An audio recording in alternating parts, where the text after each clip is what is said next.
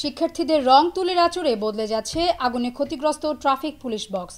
দেয়ালে দেয়ালে নানা প্রতিবাদী উক্তি ও স্লোগান লিখে ক্ষতিগ্রস্ত পুলিশ বক্সগুলোর চেহারা পাল্টে ফেলছেন বিভিন্ন শিক্ষা প্রতিষ্ঠানের শিক্ষার্থীরা। বিস্তারিত জানাচ্ছেন রাকিব হাসান। ভাঙ্গ শিকল গড়দেশ আমরাই আগামীর বাংলাদেশ।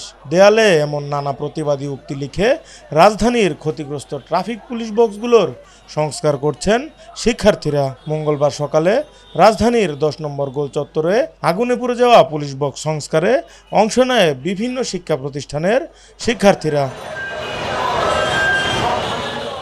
শিক্ষার্থীদের রং তুলির আচরে ফুটে উঠেছে পুলিশ সংস্কারমূলক উক্তি।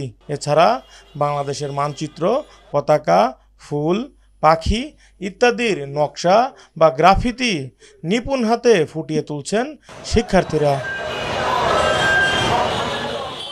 শিক্ষার্থীরা জানান, পুলিশ বক্সের দেয়ালসহ ভিতরে বাইরে সবখানেই পেন্টিংয়ের পর সংস্কারমূলক উক্তি লেখা হচ্ছে যা সমাজ সংস্কারে ভূমিকা রাখবে। এটাই দেখতে পাচ্ছেন এগুলি পুরানো হয়ে গেছে। তা আমরা যত ধরনের যত ক্ষতি হয়ে গেছে এই ক্ষতিগুলিকে আমরা আমাদের ছাত্রদের মাধ্যমে আমরা চেষ্টা করতে রিকভার করার জন্য।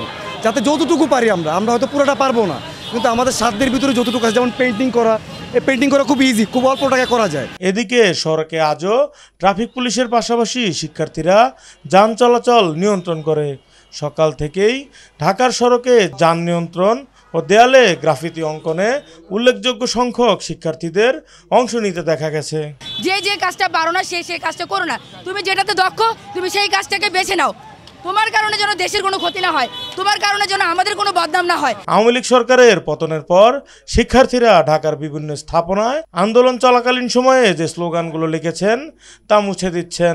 নিজেদের দায়িত্ববোধ থেকে এবং একটি শহরের সৌন্দর্য বৃদ্ধি করতে শিক্ষার্থীরা নিজেরাই রং তুলি জোগাড় করে এসব শিল্পকর্ম এঁকেছেন।